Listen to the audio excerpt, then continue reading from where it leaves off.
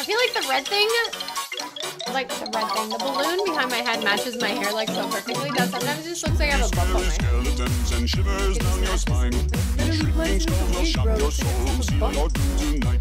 Yeah, there's a balloon These scary there. skeletons speak with such a screech.